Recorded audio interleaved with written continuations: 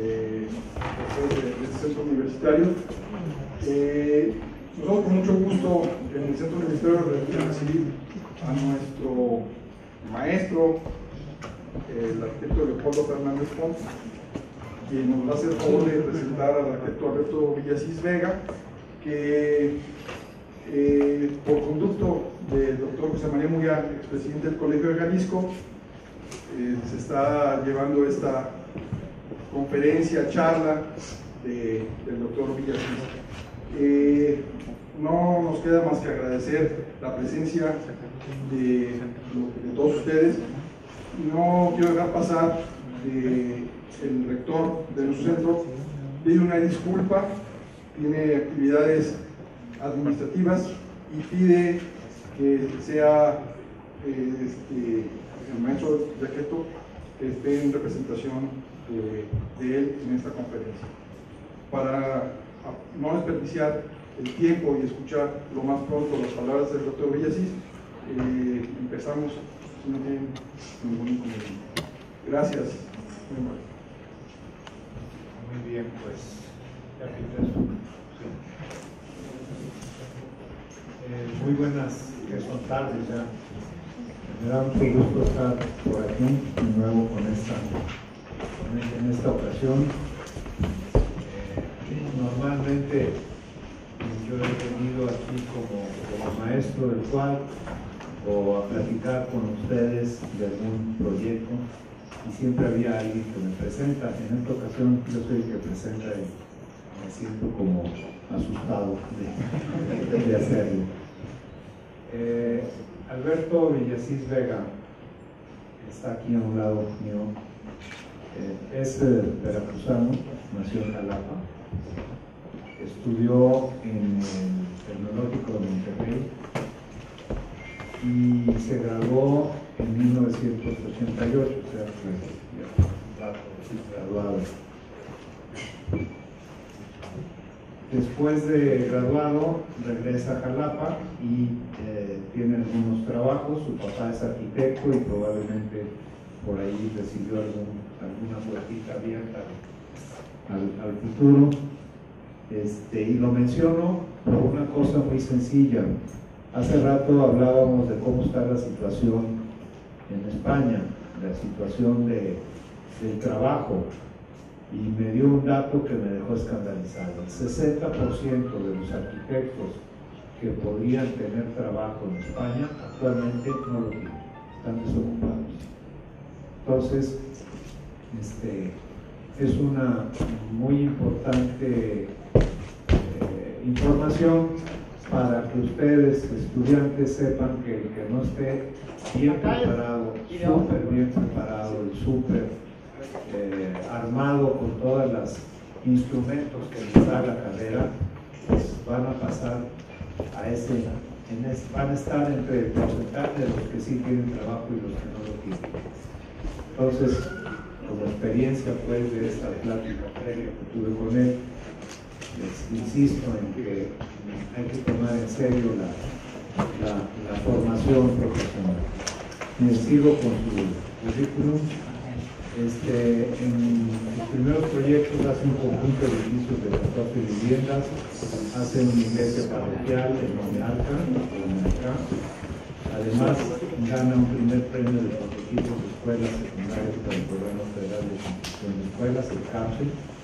Y en 1990 dos años después de graduado, viaja a Barcelona, en donde eh, hace una serie de estudios de posgrado y se queda a vivir Actualmente vive en Barcelona y eh, este, colabora en diversos proyectos, destacando entre ellos la reforma de la Casa Baslov de Gaudí, imagínense metiendo la mano al edificio de Gaudí, qué compromiso, ¿no? este, a ver si nos platicas algo cuento. Diferentes intervenciones en la Catedral de Barcelona, la reforma de la Biblioteca Central de la Universidad de Barcelona, la rehabilitación del Museo de Sano y de la fachada del Palacio Episcopal, y en 1995, o sea, casi del 88 que se recibe al 95 son 7 años.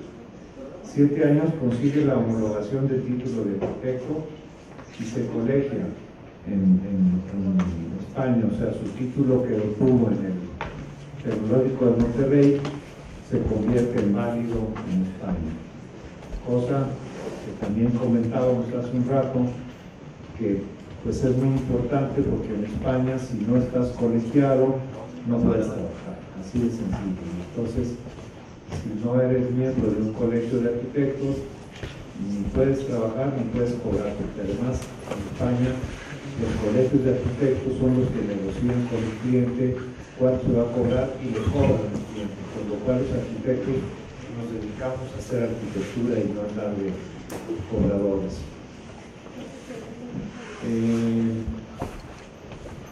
después de esta homologación que nos dice que es el primer arquitecto mexicano habilitado para ejercer la arquitectura en España.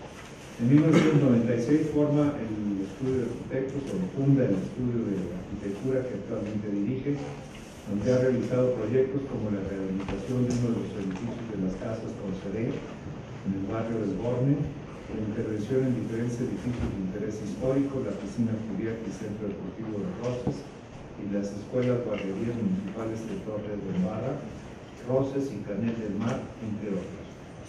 Pues eh, creo que con esto tiene una visión de una gente inquieta, con suerte para conseguir trabajo, que no es solamente la suerte, sino el esfuerzo que hay detrás de ello, y que nos quiere compartir sus experiencias en un tema aparentemente eh, muy de moda, pero que debió haber estado de moda toda la vida.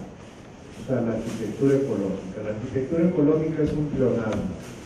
Si, si es arquitectura, tiene que ser ecológica. El hacer casas ecológicas, el hacer este, estudios especiales para impulsar el ahorro de energía, debería de estar implícito en cualquier proyecto que hacemos. Eh, por ahí Gonzalo Villa Chávez en algún momento mm, dice esto y no quiero eh, robarme su, frase, que la arquitectura si no es ecológica no es arquitectura.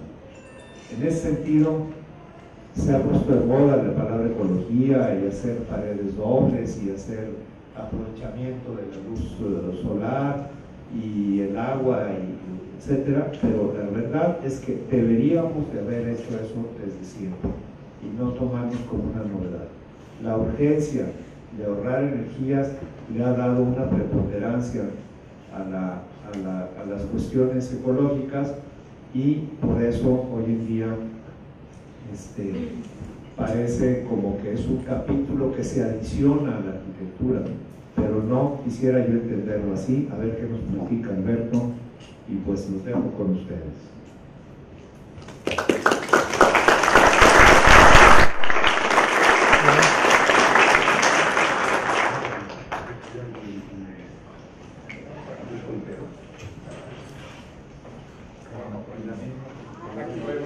A ver, permítame un tantillo.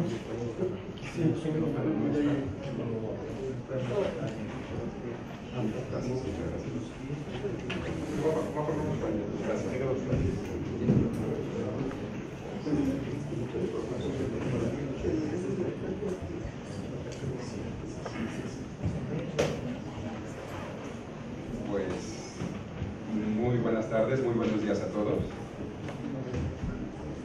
Muchas gracias por, su presencia, sobre todo al arquitecto Leopoldo Fernández por su presentación, a los organizadores, al arquitecto Yaqueto, al arquitecto Alvidre y sobre todo al promotor de esta, conferencia que es el señor José María Muriá.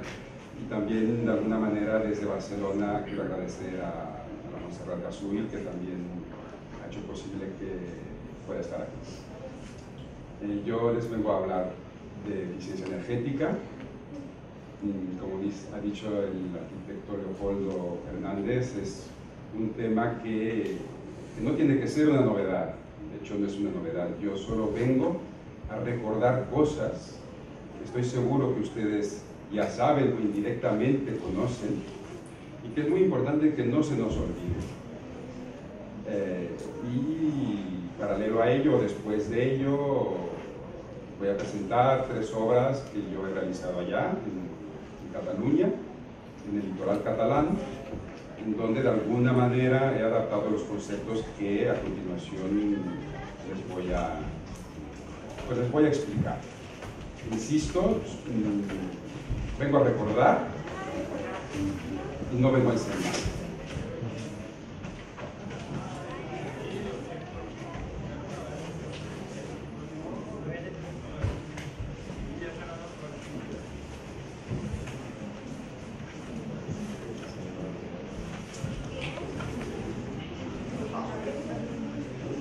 Esperamos un poquito a que se acomoden. Todavía hay un asiento vacío.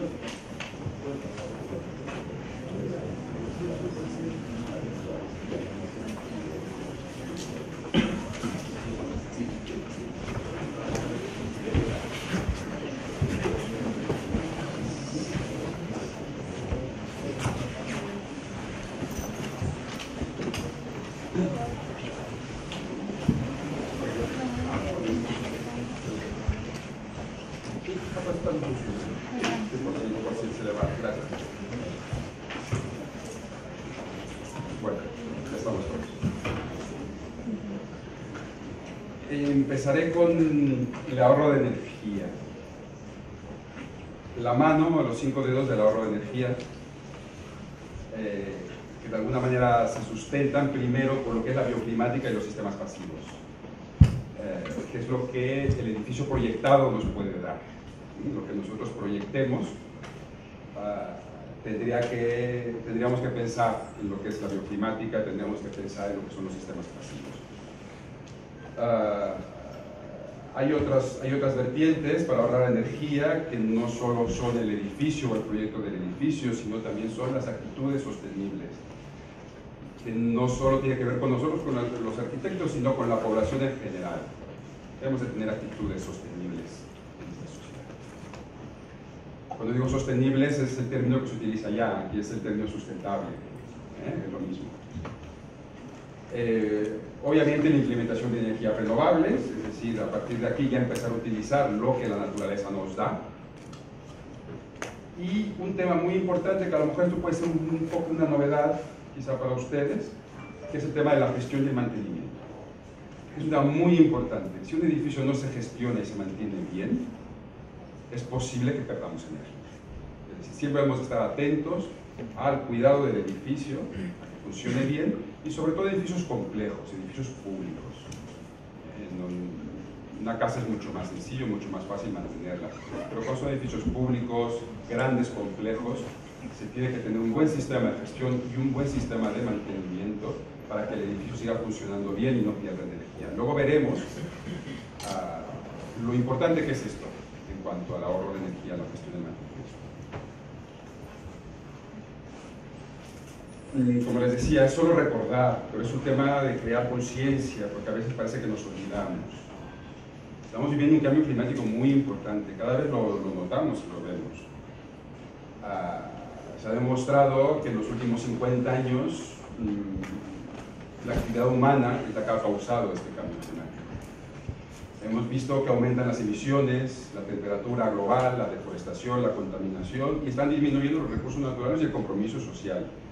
Por más uh, foros internacionales que hayan, el último de París, no sé si, si alguno de ustedes tiene presente los acuerdos de París, que se felicitaron, casi lloraban después del acuerdo al que llegaron, que antes de, del final del siglo iban a tratar de reducir en 2 grados, o se tratará de reducir en 2 grados el posible aumento de la temperatura que se prevé.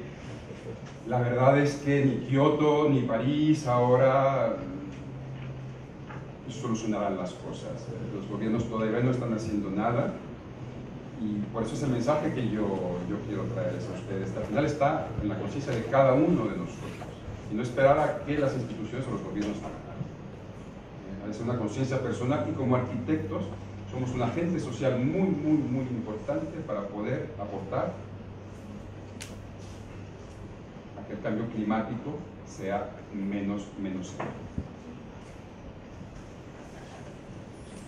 Contaminación, ayer, ayer veía las noticias de cómo está la Ciudad de México otra vez en estos momentos. Esta foto no es de la Ciudad de México, obviamente, pero eh, bueno, son las causas del cambio climático. Eh, inundaciones, eso es Cosamaloapan hace unos años, hace unos 5 años, digo, Tlacotalpan, con el desbordamiento del río, del río Cosamaloapan, que quedó inundado, negado durante muchísimos días, efectos del cambio climático. Y también lo que les quiero decir es que el 40% de la energía que se utiliza en el mundo se utiliza en el uso de los, dentro de los edificios, el uso que hacemos de los edificios y la construcción de ellos. ¿Esto qué quiere decir? Que como arquitectos tenemos un abanico enorme de posibilidades para poder aportar a que este cambio climático sea menos severo. Eh, no hay otra profesión, profesión en el mundo que pueda ayudar tanto y que no necesitamos que nos digan qué ni cómo, ni que venga un gobierno que nos diga qué tenemos que hacer o qué no tenemos que hacer.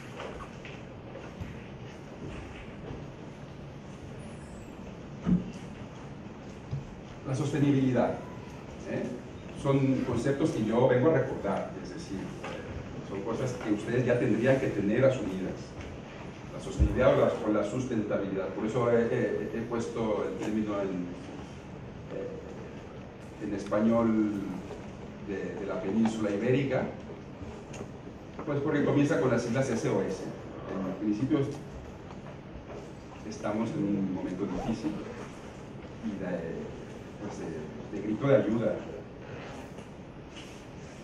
Y es tan sencillo como devolver y compensar al medio ambiente los recursos que consumimos, es decir, lo que tú estás quitándole al medio ambiente, pues devuélvelo al final ese es el concepto de sostenibilidad, así de fácil.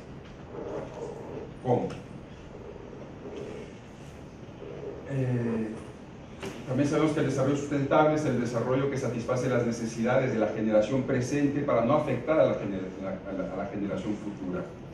Es decir, somos seres humanos, somos egoístas y no pensamos en los demás. Hemos de cambiar este chip. Y sobre todo porque somos arquitectos podemos contribuir mucho a ello. Y la bioclimática, es decir, lo que queremos hacer con nuestros edificios para que sean sostenibles, pues es aprovechar y adaptar los recursos naturales del entorno para condicionar y construir espacios para vivir.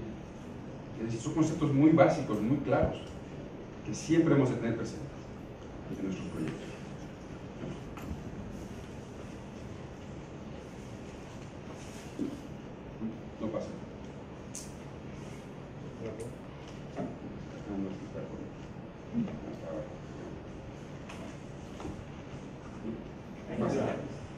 Bueno, estas son unas gráficas un poco para eh, explicar lo que se está diciendo. En los últimos 50 años, las concentraciones y las emisiones de CO2, de dióxido de carbono, las temperaturas, eh, el, alza de las temperaturas a nivel global, pues se ha producido en los últimos 50 años. Por lo tanto, nadie puede negar que la actividad humana es la causante del actual cambio climático.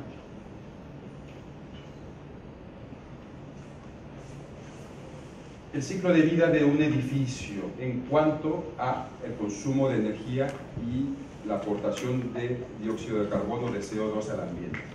Es un tema muy importante para que vean en el transcurso de vida de un edificio, poniéndolo como una media de 50 años, cómo gasta la energía. Y hay los dos rectángulos amarillos, que es donde tenemos que tener mucha incidencia que es donde más gastamos y más contaminamos dentro de esos 50 años de vida del edificio. Que la primera etapa es no la materialización del edificio, pero sí la fabricación, la extracción de los recursos y la fabricación de los materiales que necesitamos para construir. En ellos se está gastando el 31% ya de la energía de ese edificio que aún ni siquiera existe. Es la industria de la construcción. Luego viene el transporte, que no, no, lo hemos de obviar, mm, el transporte para construir un edificio que, eh, digamos que ah, gasta el 1% de la energía, de la energía. La construcción, la actividad de la construcción un 2%, de alguna manera pues esto es eh, bastante, bastante controlable, pero luego viene el uso y mantenimiento, que es donde yo les decía, que nunca hacemos caso de esto, y aquí es donde el edificio, a lo largo del tiempo, es donde más gasta, y es donde tenemos que incidir. Cómo lo usamos y cómo lo mantenemos para ahorrar energía, porque aquí es donde gastamos la mayor parte de esa energía. Luego viene el tema cuando ya el edificio acaba su vida, lo derribamos y hacemos el vertido allá donde tengan que ir los residuos. Es decir, todo eso es el periodo, todo esto es el periodo de gasto de energía de un edificio. Esto es un poco lo mismo, ¿eh? eh, esto, ya está explicado un poquito mejor y hacemos incidencia. Esto viene de otra fuente, el otro decía el 64, este dice el 66, pero más o menos todos los estudios hablan un poco de lo mismo. Y aquí es donde tenemos que hacer incidencia, sobre todo, ¿eh? sobre todo. ¿Qué es? En la climatización, la producción de agua caliente sanitaria y la iluminación, que ahí estamos gastando el 35%. En la cocina y en el electrodoméstico es un 31%. Y aquí es donde se puede ver que se puede ahorrar mucha energía. No solo como arquitectos aquí, es decir, cualquier usuario con un poco de conciencia puede ir ahorrando Y aquí un poco desglosamos dentro de la climatización, pues la calefacción un 22%, que es lo que más gasta. El sistema de calefactar los espacios es lo que más gasta en un edificio, un 22% de energía. Luego viene el tema del aire acondicionado, que es la refrigeración, un 5%, el agua, el agua caliente sanitaria, la iluminación, en la cocina de nuestras casas, en cuanto a cocina, en, cuanto a la preparación de nuestros alimentos y la utilización de los electrodomésticos, pues es un 15, Y aquí también tenemos mucho,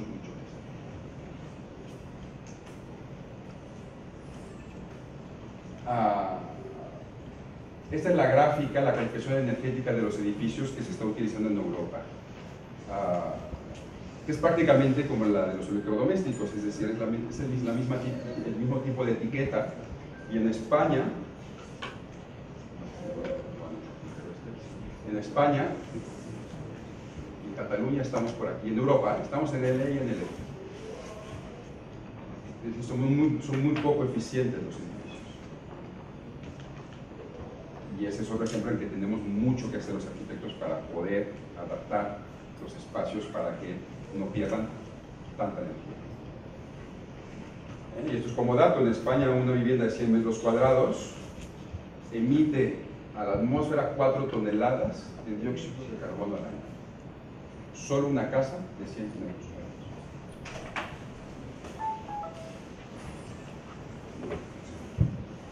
Eh, el modelo lineal de ahorro, hablando del ahorro de energía, pues el modelo lineal actual de los edificios, pues es el que tenemos arriba. Vemos que nosotros entramos aire fresco a los edificios y salen gases contaminados. Metemos energías renovables y echamos calor a la, a la atmósfera. Utilizamos agua potable y echamos agua residual. Y y todos los materiales acaban siendo residuales también y se van y se tiran. No utilizamos los recursos del sol o apenas, la captación del sol, el viento, la lluvia, el suelo, las plantas, el agua, prácticamente no utilizamos. ¿A dónde tenemos que llegar? Pues tenemos que llegar a un, a un modelo cíclico. Ese es el modelo ideal, no es fácil. Pero mientras lo intentemos, y aunque haya ciertas pérdidas, ¿eh? es decir, que este modelo pues, pueda tener algunas algunas referencias al modelo de arriba, bueno, no pasa nada. Pero mientras intentemos hacer un ciclo de que lo que gastas lo vuelves a compensar,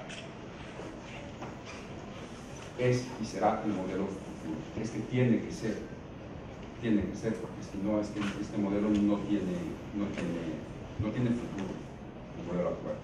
Lo sabemos y lo estamos viendo día a día. Eh, y todo esto es para seguir recordándose el concepto. La sostenibilidad eh, se, alimenta de la bioclimática, estamos hablando de los edificios, de la bioclimática, que son las energías pasivas, que es el propio edificio que te ayuda a ser sostenible, y la eficiencia energética, que son las, las energías activas, que son las que implementas utilizando los recursos naturales que tienes a tu alcance. No podemos esperar que solo el edificio con la bioclimática lo haga todo. Tenemos que implementar ah, eh, energías activas y eficiencia energética. Este árbol es un árbol mm, que yo, ah, con términos que, de alguna manera no existen, son términos que algunos, que de alguna manera yo, eh, no es que esté aportando, que yo, que yo creo que en un futuro esto, esto será una realidad. Eh, la sostenibilidad también se puede sustentar en, en, lo social, en lo ambiental, o sea, se sustenta en lo social, en lo ambiental y en lo económico. Eh, hasta aquí bien, la rama central, que es la parte ambiental, la ecología existe como ciencia, pero luego la parte social, la sociología de la ecología, ese es un término que de alguna manera mm, a mí me llegó a la cabeza que yo les he querido, les he querido aportar. No es que, porque no existe, pero esto yo creo que tendrá que ser la tendencia, tendrá que haber una sociología de la ecología. Porque aquí es donde nosotros tendremos que estar cambiando de hábitos, de costumbres, y hemos de ser solidarios ecológicamente todo lo que estamos haciendo afecta a los demás. Tenemos que ser conscientes, no hemos de ser egoístas, hemos de pensar en el otro. Y luego la otra rama de la economía, la economía de la ecología, también es un tema que no existe, pero que se está creando, sobre todo en Alemania.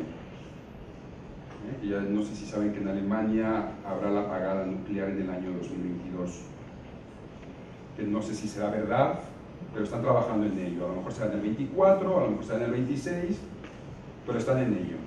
¿Esto qué quiere decir?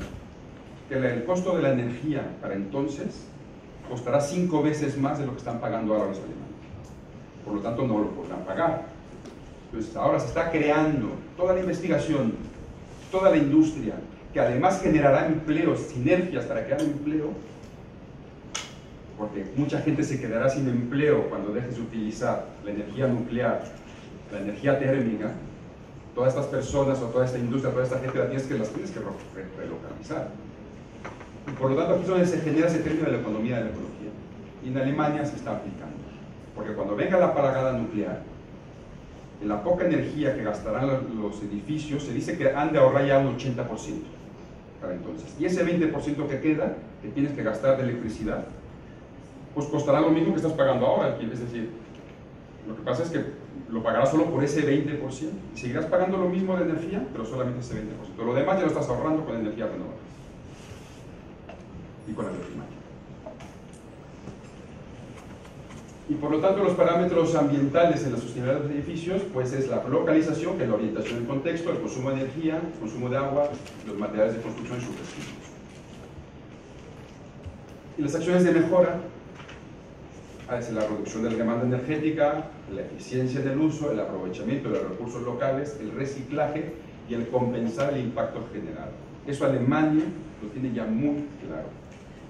¿Por qué? Porque será el pionero cuando ya todos los demás países del mundo ya estén dando gritos de ahogados de que ya no pueden más con su sistema, pues ¿qué pasará? Que le, comprarán a Alemania su tecnología. ¿Es así? Es decir, es decir, los alemanes lo tienen muy claro, uh, tienen muy claras las acciones de mejora.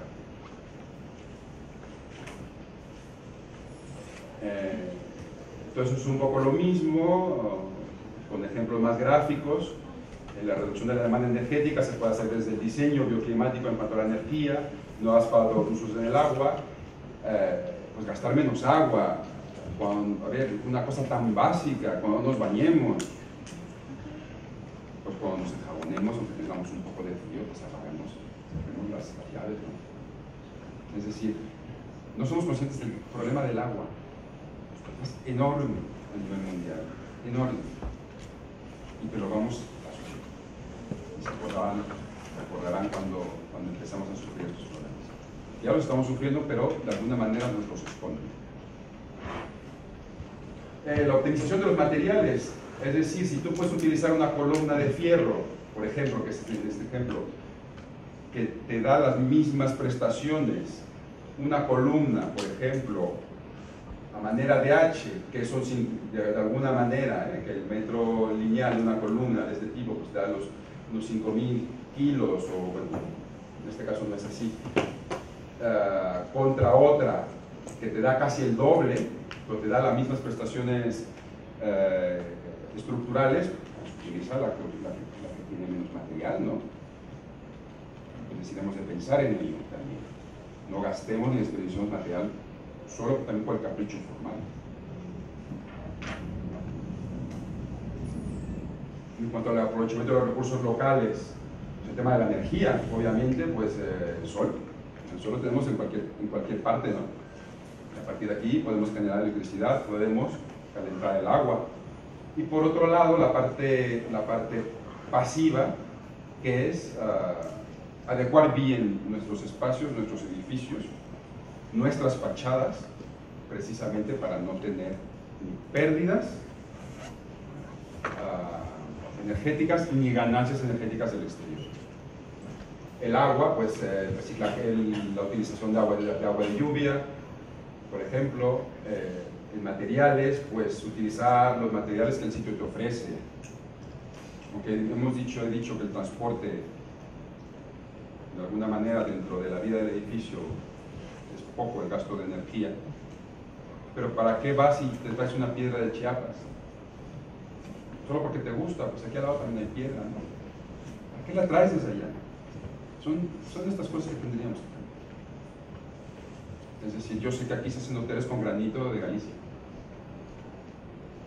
¿Para qué viene un barco, barcos cargados, cargados de granito? Si aquí tenemos también mármoles, tenemos muchas piedras, ¿no? pensar, es pensar solamente en ello y ser solidario con nosotros.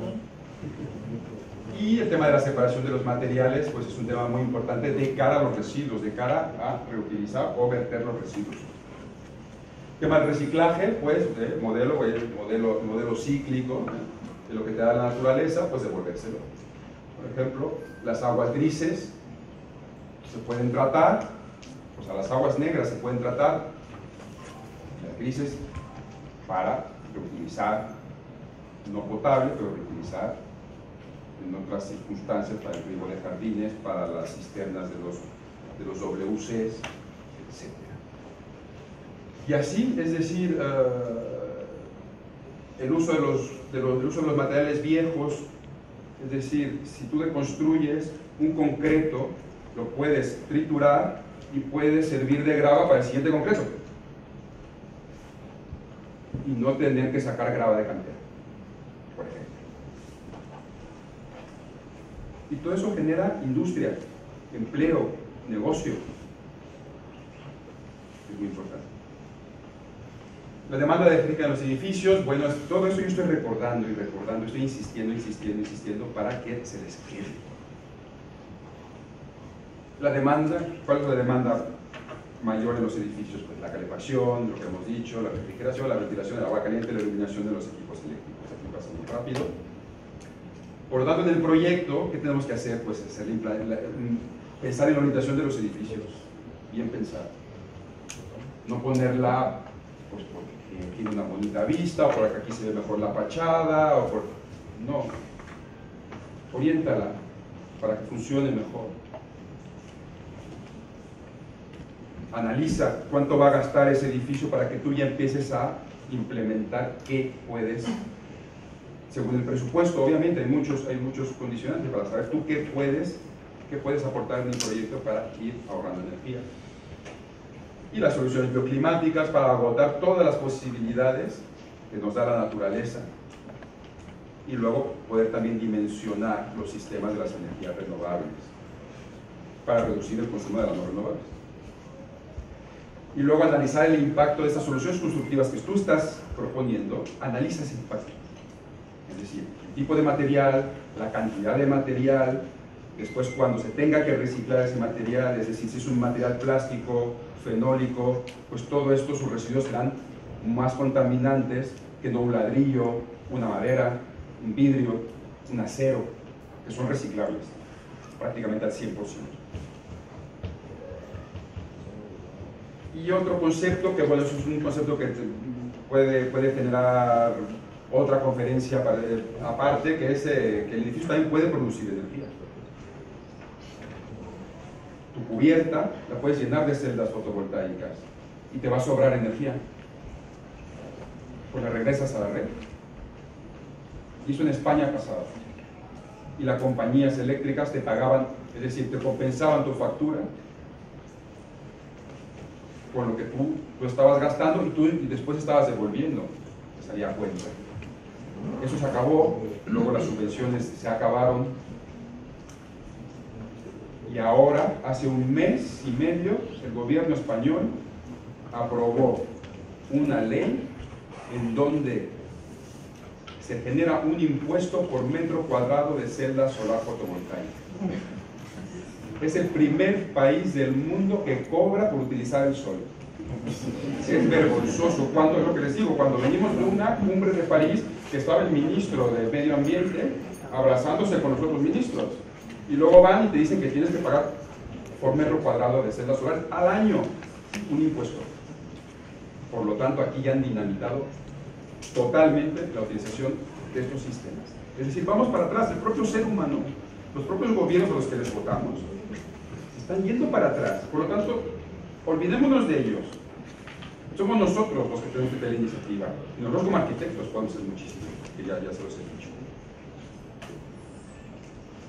Y eso en el proyecto, pues, ¿qué podemos hacer? ¿Qué podemos implementar? Pues utilizar la orientación, ver cómo la, la, incidencia del sol, cómo la, cuando en, qué momento queremos meter el sol, en qué momento lo tenemos que evitar, uh, utilizar el agua de lluvia, cubiertas ajardinadas, uh, aprovechamiento de todo lo que son los recursos renovables, la geotermia, etcétera, etcétera, etcétera. La eólica, la solar, etcétera, etcétera, etcétera. Ya solo falta que también nos cobren por el aire. Seguramente lo harán. Si lo están haciendo así, seguramente lo harán. Todo esto lo tenemos que pensar en el proyecto, el reciclaje de residuos domésticos, cómo se van a reciclar. Y todo esto, estos conceptos, todos esos existen y yo sé que se, están, se está haciendo. Por lo tanto no es tan difícil pensar en ellos y implementarlos. Los interruptores de presencia, por ejemplo, eso existen en muchos sitios, pero también los podemos hacer dentro de nuestras casas.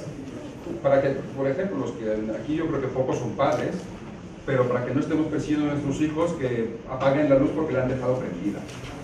Así de, así de claro.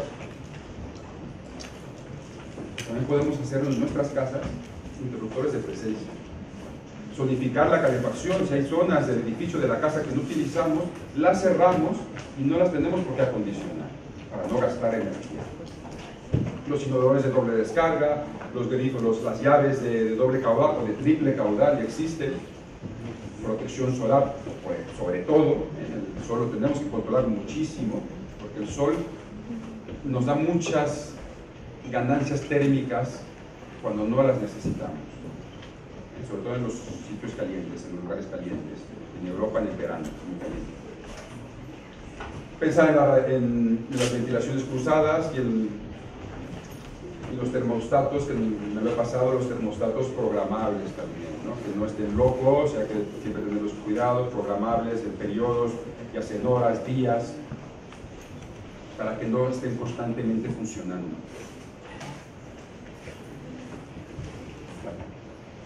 Vidrios dobles de fachada, separación y aprovechamiento de las aguas pluviales, energía térmica, solar térmica, la fotovoltaica, aislar térmicamente bien los edificios y acústicamente. Por lo tanto, no estoy hablando de nada nuevo. Todo esto ustedes estoy seguro que ya lo conocen. Pero segurísimo. Y existe, hay la industria, todo está en el mercado. Por lo tanto, esto sí que lo podemos implementar en, cada uno de los proyectos. Y con esto vamos a ahorrar un 30% ya de entrada de los edificios y de los proyectos convencionales. Solo con esto. Solo con esto ya estamos aportando un 30% al beneficio del medio ambiente. en los edificios. Que son conceptos que lo tienen que decir para que tengas conciencia de ello. Una vez ya de la teoría pasada a esta teoría, pues un poco les voy a explicar uh, las características del Mediterráneo catalán, que es donde les voy a presentar después las obras. Uh, Barcelona es donde tenemos la sede, en Rosas, en Mar, en Torre de Embarra, la, la Comunidad Autónoma de Cataluña. Ahorita voy para allá. Un poco las gráficas solares, las medias no de, temperatura, horas de sol, precipitación. Pues todo eso lo podemos conseguir de cada ciudad también cuando proyectemos. Es importante tener esos datos. Es muy importante porque así sabremos en qué época del Sí, año necesitamos proteger y en qué época del año necesitamos aportación. ah, y aquí podemos orientar bien el edificio, que queremos, que no queremos. Son datos que existen hoy por hoy, Eh, que los necesitamos siempre a la hora de proyectar. Nos van a dar muchos, muchos datos que nos servirán.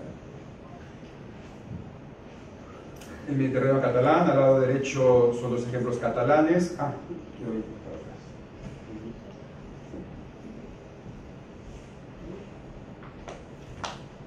La orientación del litoral catalán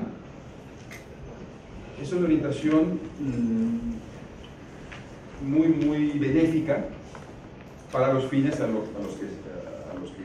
los que estamos hablando, de la arquitectura.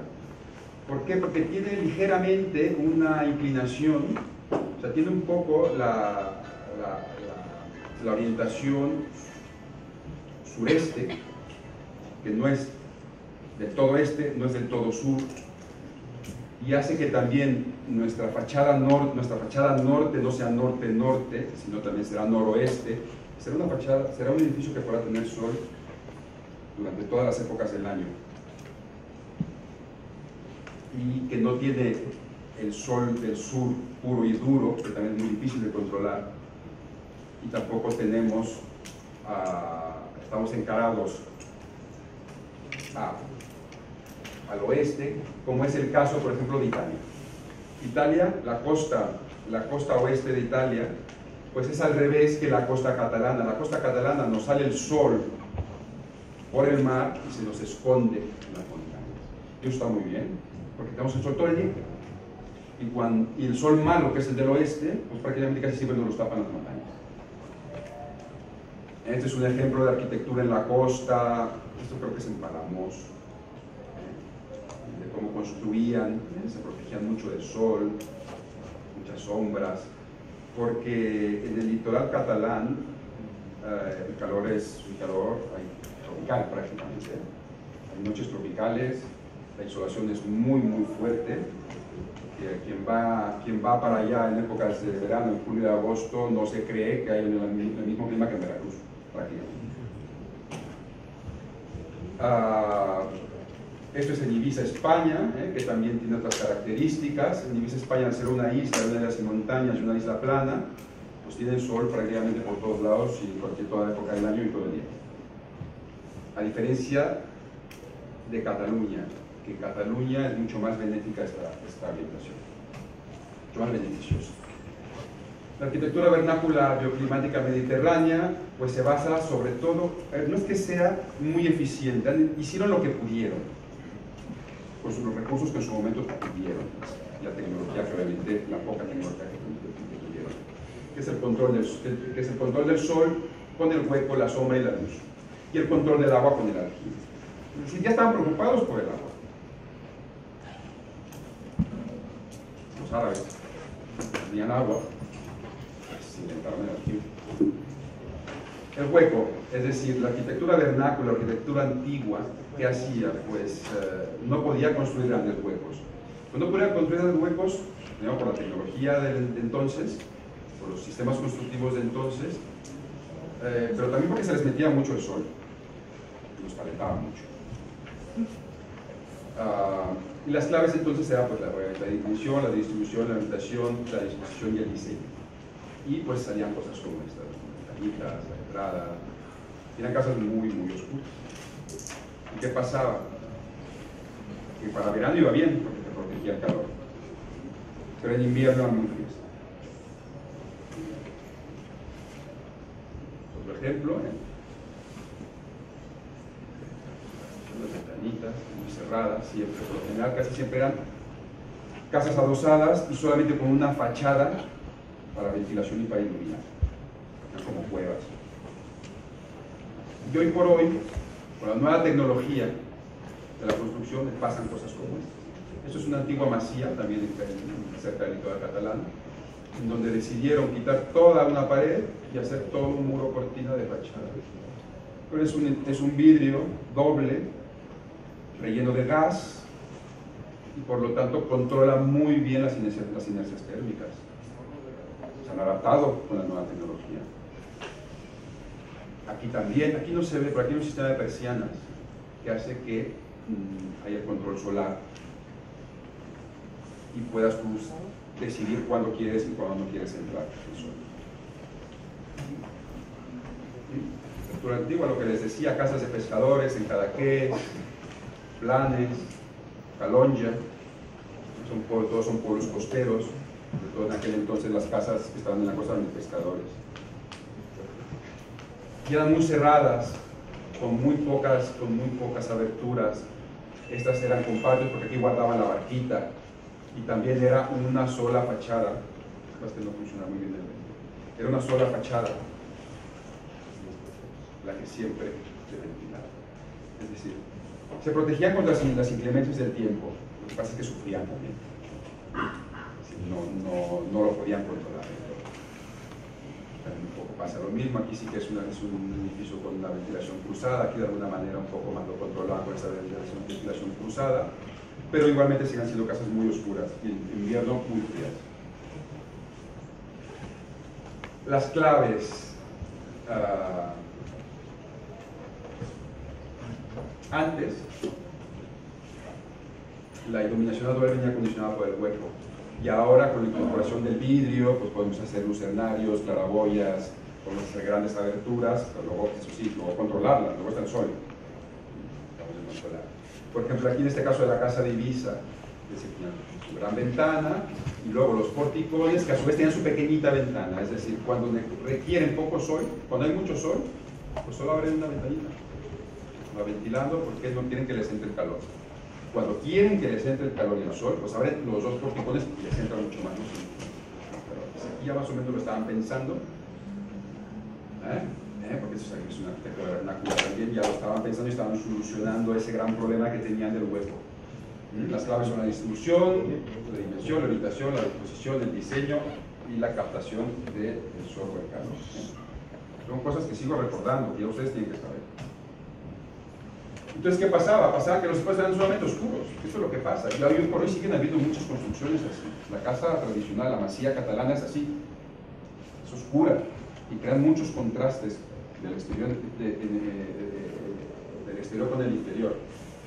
Ahora, pues con, los nuevas, con las nuevas tecnologías, pues se pueden hacer grandes ventanales, grandes espacios controlados, iluminas, matizas muy bien la, iluminación de los grandes espacios. Por ejemplo, Gaudí, pues ya lo hacía, ¿no? ya lo prohibió con su, con su obra de la Sagrada Familia. Todo, esa es una foto con luz natural. Por todos lados metían luz este cine matizaba y compensaba y creábamos espacios Eso sí, era bonito. El tema de la sombra es un elemento súper importante también en la arquitectura mediterránea. Antes y ahora, es así, aquí sí que no, no, no, no hemos inventado nada y hemos aprendido de lo que hacían los, nuestros antepasados. Ya sabemos que estas verandas o estos pórticos generan frescor y sirven además de protección solar. Lo mismo, las claves son la distribución, la distribución, la orientación, la disposición, el diseño y que siempre estén ventiladas. Cuando tapamos esto, cuando tapamos el techo, que yo estoy viendo aquí que están haciendo muchas, muchas pérgolas con vidrio transparente. Donde, yo vengo. ¿Quién les dijo que esto es A alguien se le ocurrió, alguien le gustó y lo puso de moda. Pero hace el efecto contrario. Atrapa, el- entra el calor y además lo atrapa. ¿Para qué quieres estar en el exterior si vas a tener más calor estando en el interior? Ha de ser siempre ventilada y no con elementos transparentes. O con la sombra, también arquitectura vernácula que hacían estas, terra- estas terrazas cubiertas, aquí la gente estaba muy cómoda, muy fresca en verano. Y esto es un espacio actual.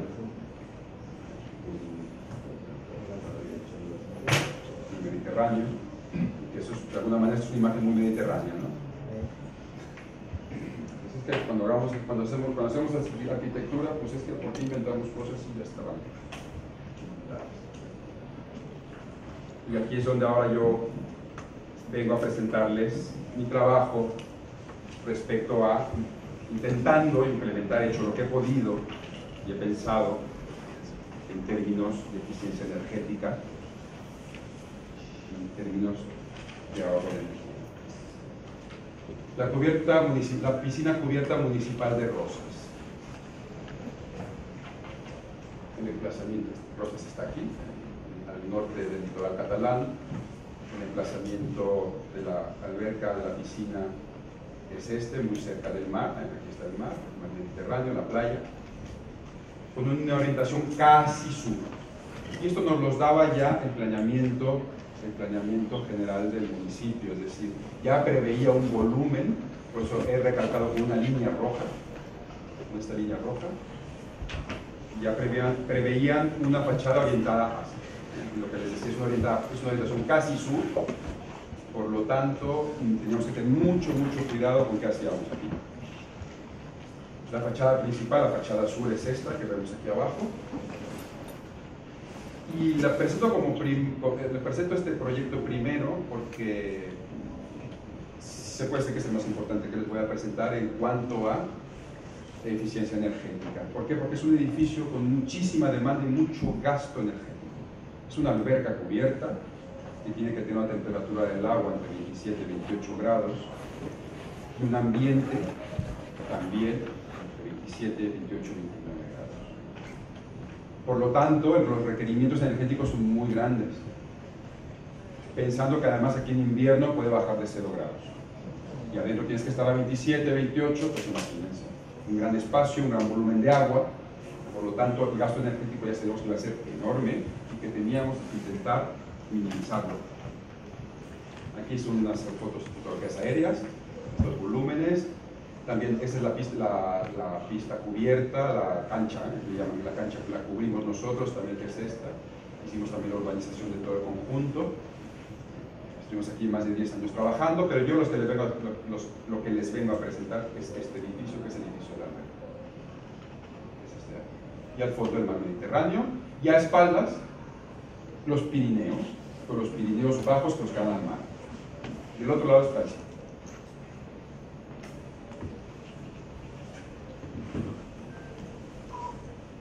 Mm, las- los, los planos básicos, la sección, el sótano, que es muy importante, todo es un sótano, a veces uno piensa, uno ve las instalaciones, ve la alberca, todo, pero ¿y las tripas? Pues las tripas todo un sótano, prácticamente de la misma dimensión que el edificio. Por ahí pasan todas las instalaciones, donde están los filtros, donde se calienta el agua, donde están los equipos de aire acondicionado. Bueno, aquí les explico un poco el programa. Son los dos vasos, el vaso principal, el vaso secundario, vestuarios. Es decir, toda esta es la zona, la zona, la zona húmeda. Eh, los gimnasios atrás, las zonas deportivas, las zonas de, las zonas de jacuzzi, saunas, acceso, acceso, entrada. Aquí, aquí en sección, aquí en sección vemos en gris lo que son los sótanos que nunca se que, cuando cruzas el edificio piensas que no, que no existen. Un poco el esquema constructivo del volumen principal, de donde les quiero enseñar, que son todos muchos sistemas prefabricados, ah, prefabricados de origen cercano al edificio, que pueden tener un reciclaje rápido y fácil. Intentamos al máximo posible utilizar este tipo de materiales, acero, madera, vidrio. Ya la planta, la planta, la planta más, más uh, constructiva, arquitectónica, la zona, la zona interior, la zona de vestuario, de baños, de, de regaderas y los vasos. Y la, y la fachada sur. Un solarium para la zona de, la zona de jacuzzi, la zona de, de. Las, secciones también, fachadas. Aquí haré pocas explicaciones porque ustedes ya saben leer planos. La mayoría de ustedes.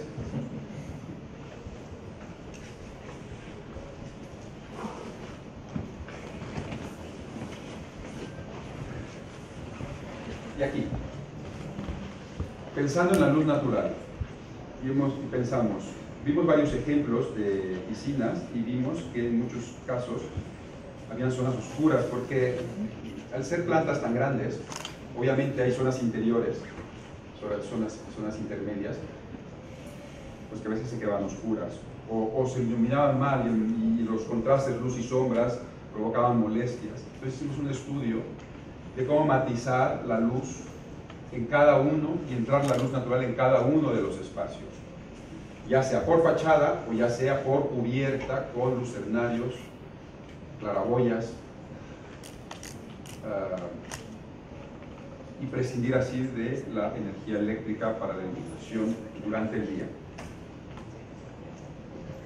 Aquí está en sección, ¿eh? cómo bañamos la luz por fachadas, por fachadas, por techos, lateralmente para no meter el sol directamente y luego tener que tener protecciones solares y elementos añadidos, que todo eso lo que hace es hacer más caro, hacer más caro el edificio. Bañar paredes, luego, luego verán el resultado. El estudio de la incidencia solar de la zona saber cuáles son los ángulos críticos, los ángulos uh, más beneficiosos para nuestro edificio. Es decir, al final, los solsticios de verano y de invierno. En invierno, ¿qué queremos? Meterlo para prescindir un poco de la calefacción. En verano, ¿qué queremos? Sacarlo, eso mismo. Aquí está diseñado y dimensionado el porche para que exactamente el 21 de julio que es el momento del, del, del, solsticio de verano, pues no nos entre ni una pizca de, de sol dentro del edificio. Se nos acaba justo en el punto de inflexión del muro cortina, del muro cortina que nos divide el exterior con el interior. Y todo esto lo podemos hacer si estudiamos bien las características ambientales y climáticas del edificio que vamos a proyectar y construir. Esto también, esto existe, no hace falta ni siquiera que lo, que nosotros lo obtengamos con fórmulas matemáticas. Existen las gráficas solares y sabemos, aquí no sé aquí, cuáles son los grados, pero seguramente si alguno de ustedes lo sabe, el solsticio, los solsticios, pero será, será más inclinado que si estamos más, más, estamos más al sur.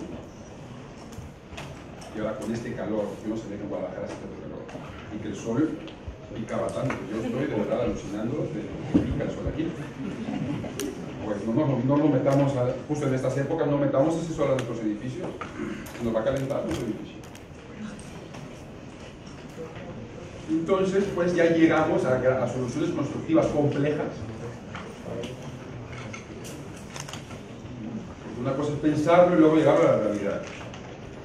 ¿Eh? Aquí usamos unas toberas de ventilación, usamos, hacemos el sistema de, con el defrost de los coches para que los vidrios no se nos empañen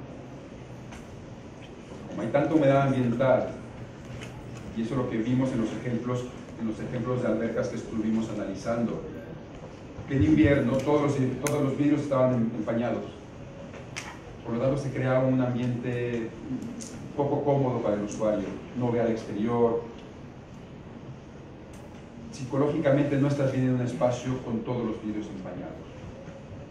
Entonces nosotros proyectamos el edificio para solucionar este problema y además aquí es una punta constructiva entre los dos edificios, entre el edificio de vestuarios de, de, duchas, de regaderas y el gran volumen o la gran crujía de la piscina, de la alberca. Entonces se generaban estos, estos detalles constructivos complejos. Y el detalle de la celos, de la, bueno, no es, no es bien una celosía, es son unas persianas orientables que adosamos a la estructura portante del edificio, esta gran, eh, ¿cómo le llaman? Allá le, le llamamos, um, en catalán, es que perdonar, pero ya le llamamos encaballadas, aquí son armaduras, eh, grandes ar- eh, la gran armadura que carga la fachada sur del edificio, pasa que la luz. Eh, es la estructura aquí y aquí adosamos nuestro sistema de protección solar porque estábamos al sur. Pues ese es el resultado del vaso y del espacio principal. Aquí es de los prácticamente de los días de incidencia solar, del sol más inclinado en invierno, estamos metiendo el sol al edificio. Lo que pasa es que aquí entran otro tipo de factores. El sol hace que crezcan algas dentro del agua, aunque es un, es un agua clorada, es un agua, en principio, eh, que se está reciclando constantemente, pero la luz hace que crezca todo. Y no es bueno tampoco que tenga mucho sol ah, una alberca de este tipo, porque luego tiene problemas de moho.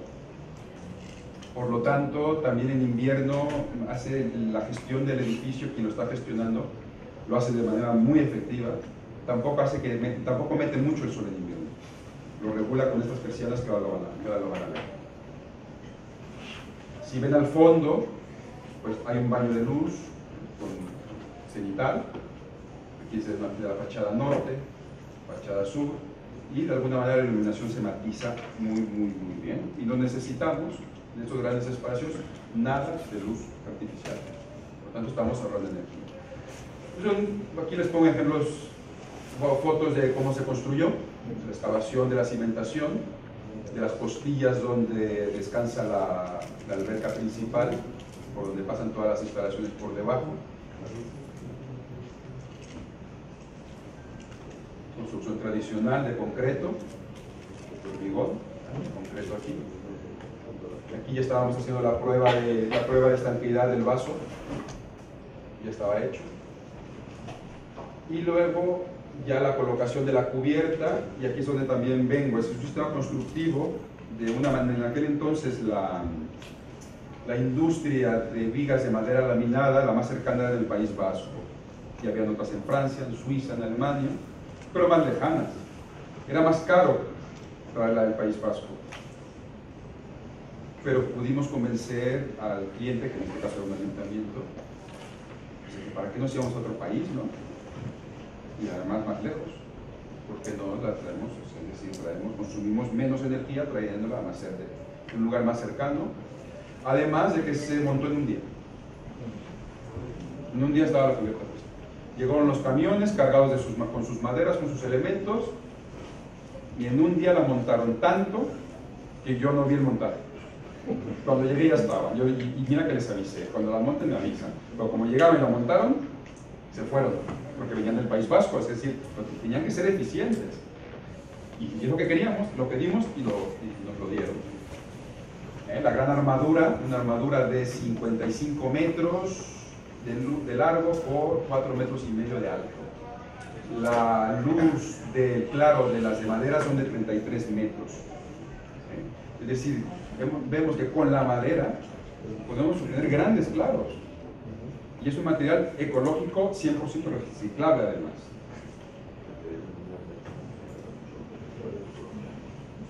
Otros aspectos, eh, ya acabado, ya construido, de día y de noche. Y los, las posiciones, lo que tiene posiciones ilimitadas, las posiciones de las persianas de fachada, para los requerimientos en cada época del año.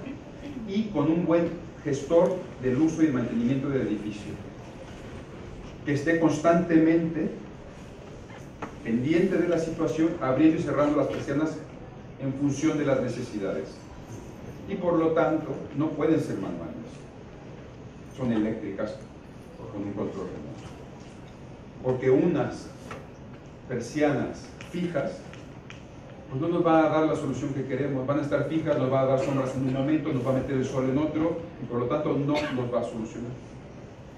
Al sur siempre tienen que ser móviles para adecuarte al momento del año en que estás o al momento de insolación que tienes. Detalles constructivos del porche interior, cómo se genera, unas fotos ya de, del edificio acabado, concretos vistos, no metemos más material, ¿para qué? Es más gasto, más, de una manera más contaminación para la producción de los, de los materiales. Y si podemos dejar la pared así, la dejamos así. El aislamiento está por dentro. El porche, cómo se genera aquí todo, esta, todo este espacio de sombra, de luces sombras, del espacio intermedio del interior y del interior la entrada de luz, aquellos espacios que quedaban oscuros, sobre todo los vestuarios, por una, una, una gran entrada de luz, un gran lucernario, eh, un gran lucernario corrido de extremo a extremo de ese, de, ese, de ese, volumen. Y también buscando la parte estética, obviamente, la luz tiene, es lo que tiene, que si además lo utilizas con, con gusto, te pueden quedar espacios. Y aunque los vestuarios, de una regadera.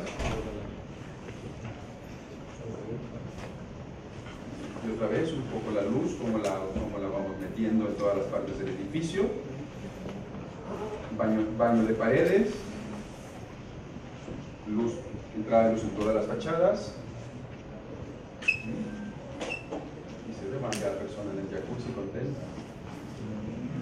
Zona de fitness, de, gimnasio.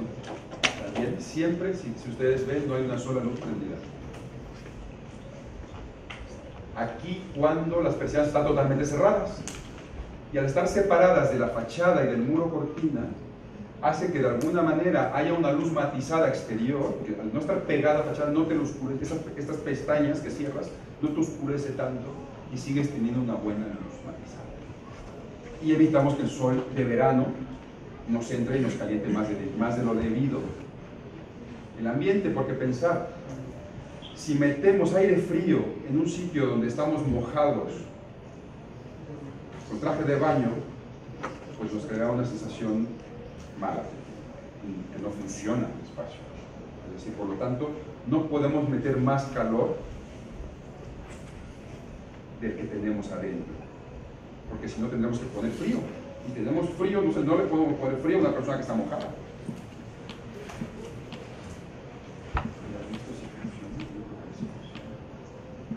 y esto es un pequeñito vídeo, video de cómo funciona.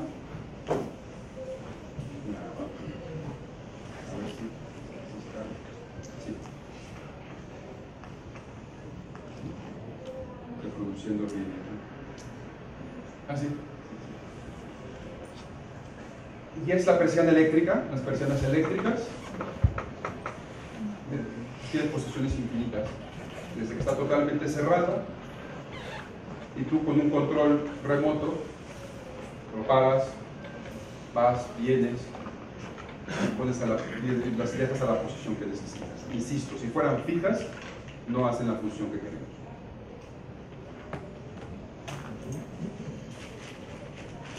Y un poco los sótanos, ¿eh? para que vean ustedes, los sótanos están llenos de instalaciones. Instalaciones eficientes también. Y ese es un tema que voy a pasar porque si no la conferencia se puede hacer muy larga. Y ya son sistemas un poco más complejos, que es un, tratamiento uh, a través de la radiación ultravioleta para filtrar el agua. Que se considera una instalación verde. Mm, lo pasaré porque yo creo que sí que nos vamos a ver, será cuestión de otro, en otro momento, otra, otra charla, otra conferencia está muy interesante porque ahorra muchísimo energía un sistema de este tipo para un mercado de estas características. Voy a pasar un poquito rápido. Hay una gráfica donde ustedes van a poder ver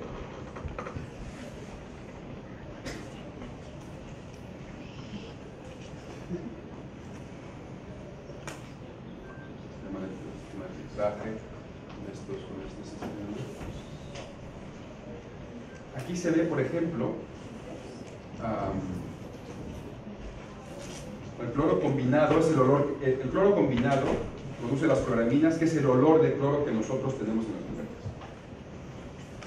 Que mientras más olemos a cloro las albercas, más deficiente es el sistema de depuración del agua. Mientras menos huele, mejor sistema de depuración tiene. Han habido instalaciones que por mal mantenimiento y uso han creado una nube tóxica que han tenido que evacuar las instalaciones. Simple y sencillamente porque el cloro, cuando mata a las bacterias, se crean las cloraminas, que es el cloro combinado, y eso es lo que se tiene que combatir. Porque si no tienes que estar aportando agua para poder ir diluyendo todo esto. Y el agua también es mucho gasto energético y medioambiental. Y miren, cuando se implementó ese sistema en mayo del 2008, lo que gastábamos de agua diario para renovar el agua de las albercas por el problema de, las- cloraminas, el cloro combinado o del olor a cloro. Pues estaban gastando pues, hasta 30 metros cúbicos diarios de agua. Diarios para renovar. 30 mil litros diarios para renovar. Cuando se implementó esto, bajó, imagínense lo drástico que bajó. Al rato. Pues ya ni 5 metros cúbicos, y un promedio al final de 2 o 3 metros cúbicos. De los 30 que se gastaba esa agua, que Sí. gastaba esa piscina. Aquí es porque en septiembre, en septiembre cierran la alberca para mantenimiento porque los sistemas han de estar funcionando constantemente las 24 horas. Para limpiar la alberca tienen que apagar el sistema, vaciar la alberca y hacer la limpieza de los sistemas y volver a llenar la alberca. Por lo tanto, por eso en septiembre ahí puede poder haber un, un- un pico de consumo. Pero el sistema de rayos ultravioleta para limpiar el agua hace que ahorremos agua. Y una instalación de este tipo es muy, muy, muy importante, y más cuando es pública, suele tener muchas críticas y más cuando hay escasez de agua. Son como los parámetros de antes y después.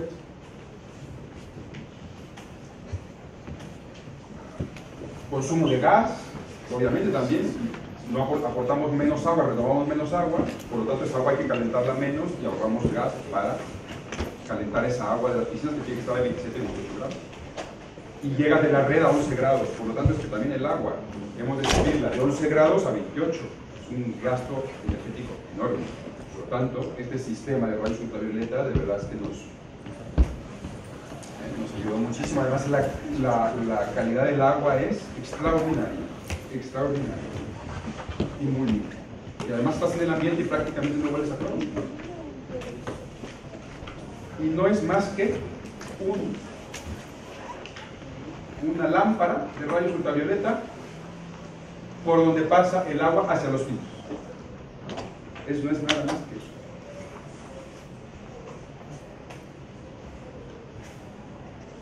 Torre de Embarra, el siguiente proyecto.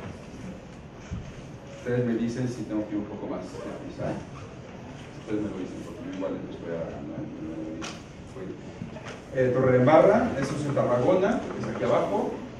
Una eh, guardería municipal para 72 niños de 0 a 3 años. Chiquito, chiquito, chiquito. ¿eh? Es decir, la- lactantes, niños de 3 años. Igualmente el emplazamiento es, esta, es, es Torre de Embarra, es en esta zona aquí, la zona de las escuelas, el mar Mediterráneo.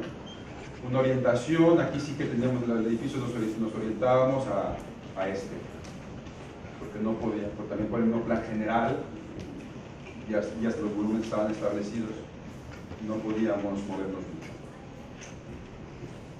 Esta es la escuela, cinco aulas, cinco aulas, una sala polivalente, la zona de servicios, la zona de dirección y los. Aspectos, del proyecto. Puede estar el- y aquí pues las entradas de luz, ¿no? Natural, igual que, en la piscina, que en la alberca, pues aquí vemos cómo metemos la luz a todo el edificio. Estos son los cambiadores de los bebés, aquí los cambian, estos son los, los VC de los, niños, son chiquitos, chiquititos, pero han de ser herméticos por un tema de los olores, una ventilación aparte por el olor. ¿eh? Los pañales, porque también tiran los pañales, pero luego los, llevan a un vertedero. Y es un volumen interior, pero que también transparente por arriba, para que la luz que tenemos, pues obviamente nos entre a este espacio y no se nos quede oscuro. O también el estudio de los grados solares en, los, los solsticios. Con la aplicación obviamente de estos sistemas horizontales de control solar. ¿eh? Porque en verano, inclusive aquí sí, al contrario que la piscina, es que ni siquiera en el porche pues, que queríamos que el sol nos entrara, porque pues, aquí también están los niños. Alejamos el sol lo más posible y lanzamos la protección solar lo más posible al exterior. Y en diciembre, pues mira que puede entrar el sol. Ventilación. Es muy importante el tema este de la ventilación. ventilación cruzada siempre y siempre un punto alto para evacuar el aire caliente. Y una cámara de aire entre el falso techo y la estructura del techo para que aquí el aire caliente, que se queda acumulado, hicimos unos agujeritos en fachada para que por aquí siempre esté ventilando el, el cielo raso. Y todo esto es pensando, es decir, no, estamos haciendo nada nuevo. Todo esto ya nos lo enseñaron nuestros antepasados. Es simplemente. Y luego pues, la, el, aspecto final de la escuela pues es esta. Que tú la ves y dices, bueno, te puede gustar, no te puede gustar, pero está pensada para que ahorre el máximo posible Este 30% que les estoy diciendo. Aspectos de la construcción, Allá no, no, no es que celebren el día de, del arquitecto ni de cuando acaban un colado, con aquí es porque ganó el Barça.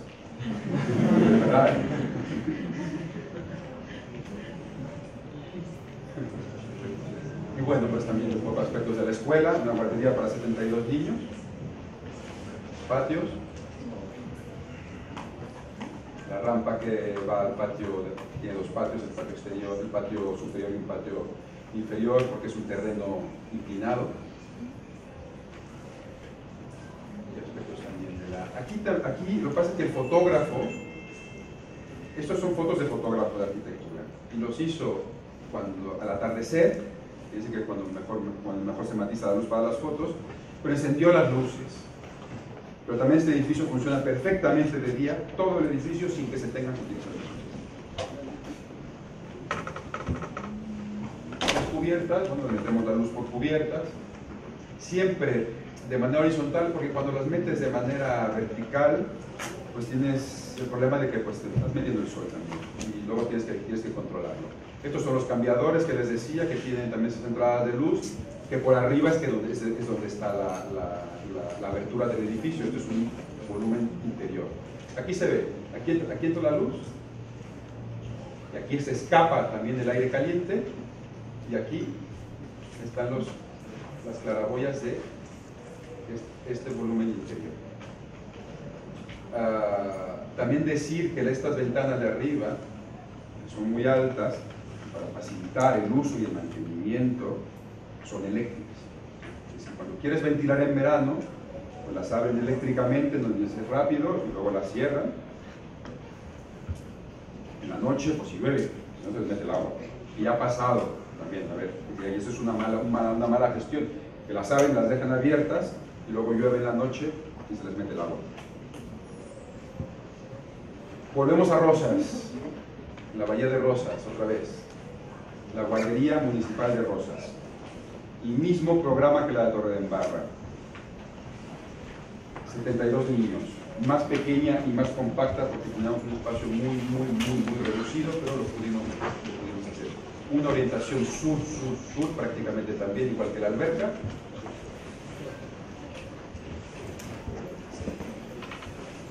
Una foto aérea ya del edificio construido. Estos son las, estos son las celdas solares lineales, que ahora verán en la sección, solucionamos todo el edificio con ello. Estos son el pórtico sombreado una cubierta ligera. Y atrás el patio de la escuela primaria, que es donde nos correspondía. atrás de la escuela primaria, eso no tenemos, no teníamos nada que hacer. Esta es la, la planta de la escuela. Y otra vez el estudio de filtrar la luz natural a todos los espacios habitables. A las bodegas y estas zonas que a veces no necesitamos, pues tampoco. ¿no? Pero en todos los espacios habitables entra la luz. Los planos generales del edificio. Sección, la entrada de luz, es una, sección parecida a la de Torre de Embarra, pero mm, aquí intentamos, porque también era una, petición del cliente, de que en un momento dado este edificio se pudiera dedicar a otras cosas. En un momento dado, es decir, dentro del uso del edificio, son 50 años, pues a lo mejor de aquí a 30 años, concentraron las escuelas, la guardería, la primaria en otros sitios y a lo mejor esto es ser un, un edificio público que le pueden dar otro uso. Entonces hicimos una gran armadura que nos cubre todo el claro del, edificio desde aquí hasta aquí.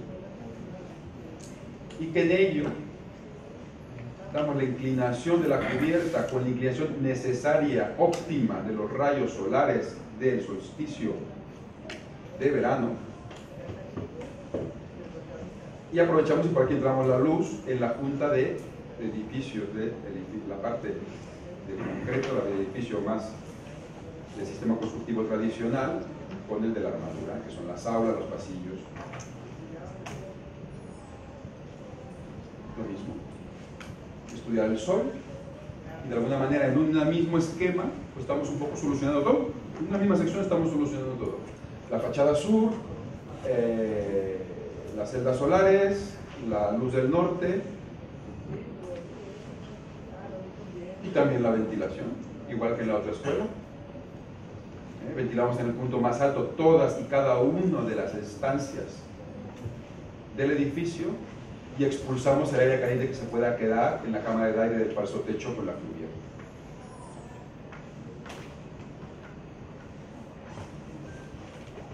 Y aquí está. Eh, Decimos el, el paisaje en el Empurdá es muy plano. También quisimos hacer una, un edificio que prácticamente no se ve aquí porque es la foto aérea, pero desde la calle es tan tan plano que prácticamente pasa desapercibido. Es que no se ve. No se ve, es un edificio que prácticamente no se ve. ¿Y por qué? Pues porque no, no, no no- no- no nos prima la estética, es decir, de querer no sentir, sentir el ego del arquitecto por hacer un edificio bonito y que te lo valoren. No, primero que funcione, que ahorramos energía lo más posible y a partir de aquí, con la habilidad que puedan tener cada uno, puede quedar mejor o peor estéticamente. También la parte de cómo se construyó, ¿eh? estas grandes armaduras, estas armaduras que prácticamente solucionan todo el, todo el edificio.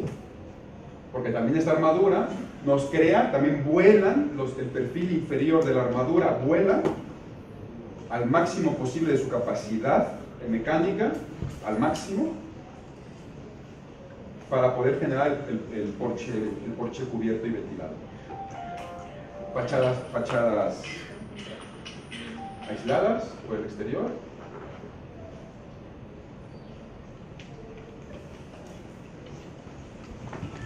Fachadas, fachadas, todas las fachadas en el exterior antes de su recubrimiento final. Y el interior, eso es de día, los ya ven el pasillo, es un pasillo interior totalmente iluminado por aquel lucernario que se crea con las armaduras. Y cada color representa los de 0 los de cero a 1 años, los de, do- los de 1 a 2, y así para que los propios niños se identifiquen con colores sus aulas. Respecto del exterior, ¿eh? aquí un poco aquella aquella, veranda que veíamos en la arquitectura vernácula, pues bueno, aquí lo hacemos de manera más moderna, con las armaduras, con el lanzamiento del perfil inferior de la armadura.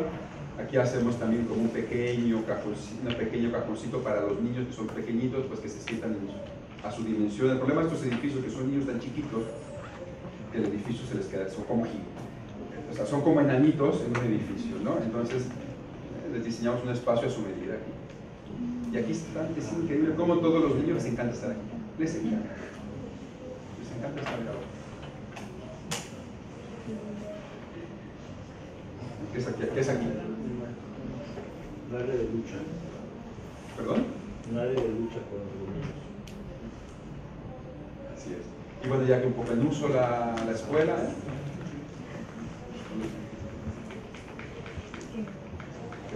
¿Ven ven el- la fachada principal? Vemos, las vemos el tema solar aquí, de producción, de producción por energía solar.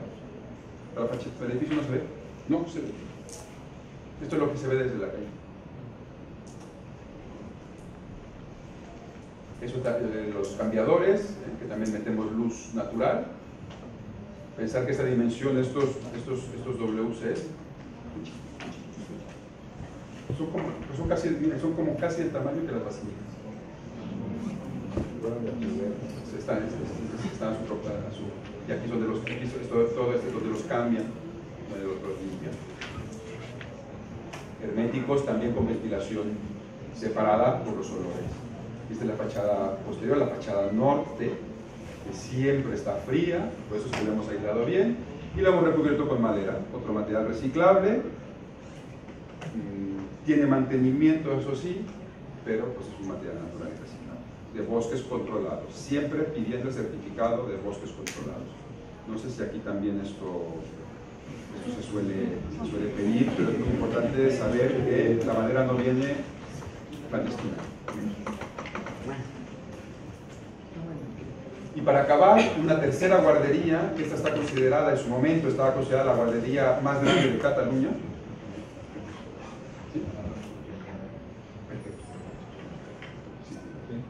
Sí, la paso rapidito, es una escuela muy grande, que yo me lo encontré así. Un edificio que iba a ser para otro uso, me la pidieron que la adaptara a guardería municipal. Y como ya existía el volumen, pues se hizo una guardería y resultó que es la guardería más grande de, de Cataluña. Tanto que yo creo que ni ahora en este pueblo de Canal de Mar la, la utilizan al 100%. Y, un poco adapta- adaptamos los espacios de esta manera. Y muy rápido, yo vengo de la Costa Maya y casualmente me alojé en esta cabañita maya construida actualmente. Eh, yo me impresioné de que pregunté quién le había hecho, no había sido arquitecto, una persona con sensibilidad reprodujo la arquitectura maya con sistemas modernos. Y funcionaba térmicamente de manera impresionante. Celosías de madera, sin vidrio, con mosquiteras para que ventilara naturalmente. Este es el espacio y un agujerito, una bóveda que te hace la cámara, un agujerito para que se escape el aire caliente del interior, constantemente se esté escapando. Una doble cubierta, la bóveda y luego la de palma, para que pase el aire, un suelo ventilado que pase el aire por el suelo y no necesitas aire acondicionado. Que es la casa de la izquierda y justo delante, y no quiero criticar porque esta arquitectura puede ser válida en otros sitios, justo delante hay esto hecho por arquitectos. Y esto hecho por alguien que no es arquitecto. No encontré una casa así en toda la costa maya. Solo la vernácula de los propios indígenas mayas.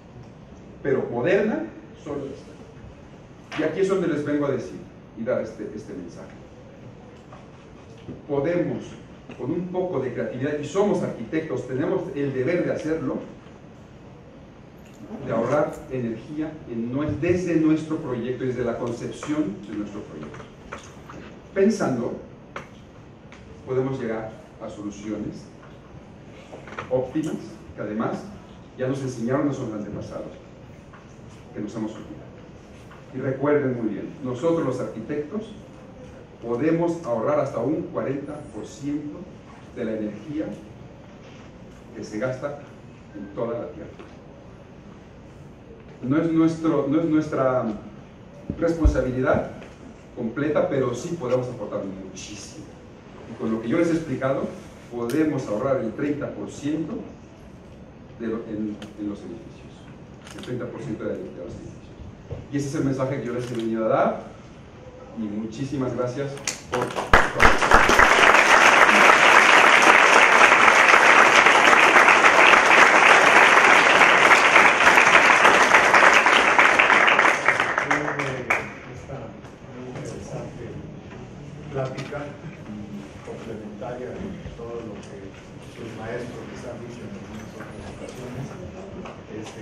dedicar cinco minutos, diez más para preguntas, alguna duda, algún comentario adicional, algo que complemente, ya sean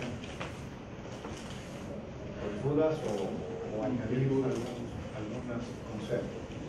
Por favor, quienes quieran eh,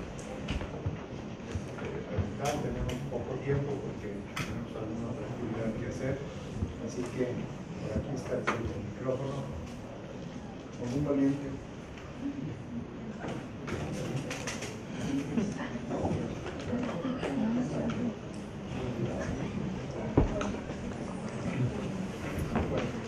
Pues entendemos que dentro de la sustentabilidad todo es un costo-beneficio, que para estos sistemas que nos acaba de presentar que son pues tecnológicamente avanzados, am, que tiene que hacer una inversión muy fuerte para poder ahorrar ese tipo de energía. Pero, ¿qué tan factible es que recuperemos esa inversión ahorrando energía, pero hablando económicamente, que también es un factor de sus- sustentabilidad? A ver, primeramente tenemos que disociar el ahorro energético del ahorro económico. Y aquí es donde nos confundimos. Y por eso es que no se hacen más cosas. La gente piensa que si va a ahorrar energía va a ahorrar dinero. Y están equivocados. Tienes que invertir dinero para ahorrar energía. Es decir, tu conciencia de ser ecológica, no económica. Recuperar, mm, sí, sí que recupera, obviamente que va recuperando, pero ese no es el fin. Es decir, una instalación eléctrica, una fotovoltaica eléctrica, pues ya tienen un poco de más, cada vez son, son más eficientes en cuanto a su vida útil, pero en 8 o 10 años mm, han perdido prácticamente su capacidad o tienes que renovarlas. Por lo tanto, lo que te costaron, pues en 8 años tienes que volver a invertir. Por lo, tanto, es una cuestión de, inversión constante el uso y mantenimiento de lo que hablaba, pues es un gasto añadido a un edificio, tener un buen mantenimiento. Eh, al final es esto, es una cuestión de conciencia ecológica, y disociar de que vas a ahorrar dinero para ahorrar energía. Tu interés es ahorrar energía, no ahorrar dinero. Es así de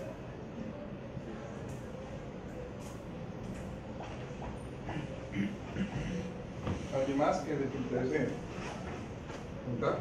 ¿Maestros?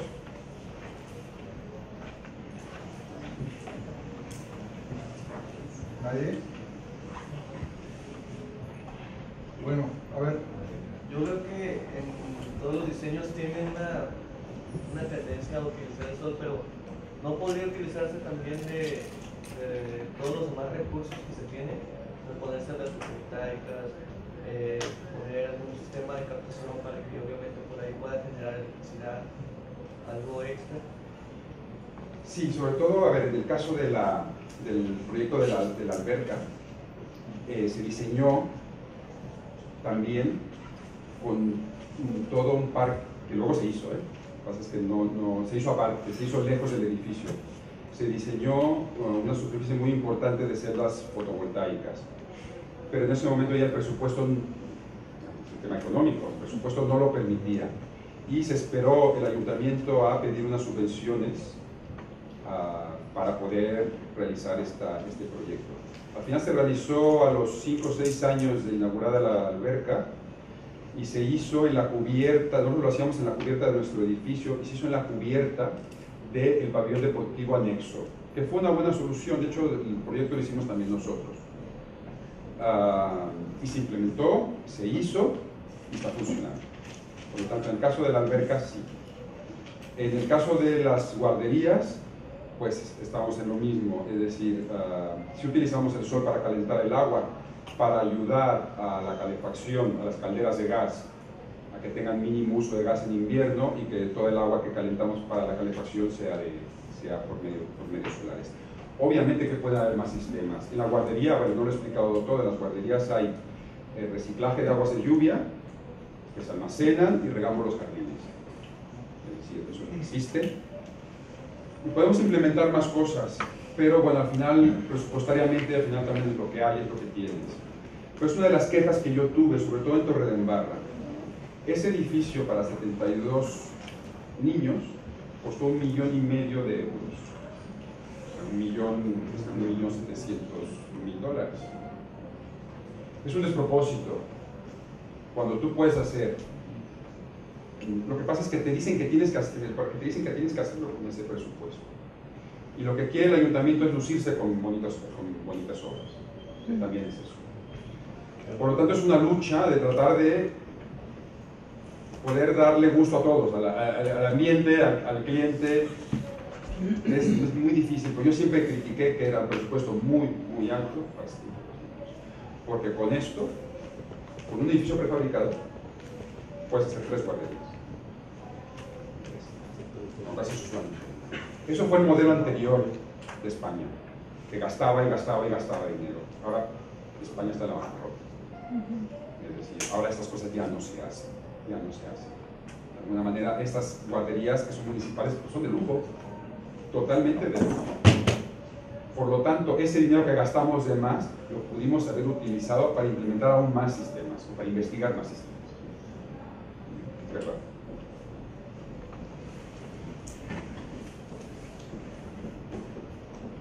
Respecto de la primera pregunta que se hizo eh, sobre el costo-beneficio, eh, me pareció muy, muy interesante porque es más barato dormir debajo de un toldo de lona que debajo de una cubierta de concreto. Sí es más barato, ¿no? Y al final de cuentas te protege, pero, pero, pero queremos algo más. Entonces, el mensaje de, de Alberto es, queremos algo más para la humanidad. Queremos que nuestros recursos eh, eh, energéticos no se desgasten innecesariamente, no solamente más barato, sino no, o sea, no, no se gasten más de lo que se podría gastar para lograr lo que se quiere y no necesariamente es ahorrar. Ahorrar, en ese sentido, ahí está el ejemplo. Podríamos tener una casa de campaña y viviríamos muy barato, pero, pero no tendríamos lo que nos da la casa construida con concreto y lo mismo en cuanto a la cuestión eh, de conservación de energía. En la medida en que, en que aportemos algo a la conservación de nuestra energía, nuestra arquitectura será más válida. El mensaje. Pues eh, yo creo que no sé si hay alguna pregunta más, tenemos alguna actividad por aquí.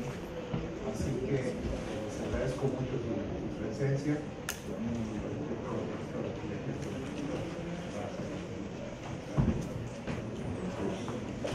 Parte de, la institución, darle las gracias al arquitecto Alberto Villasís por su excelente conferencia y esperamos que no sea la primera ni la última. Pues muchísimas gracias.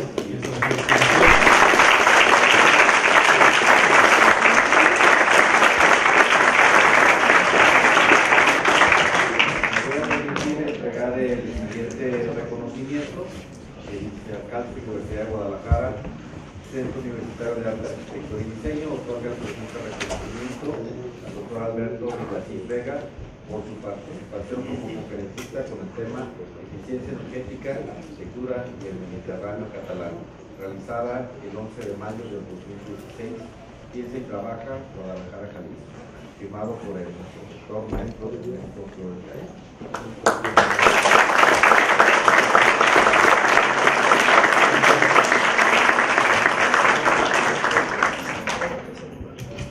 Bueno, jóvenes, con esto terminamos la conferencia, charla del doctor Alberto Villasís. Eh, muchas gracias por estar, por aguantar también el calor que estamos. Es calor humano. Gracias y hasta la próxima.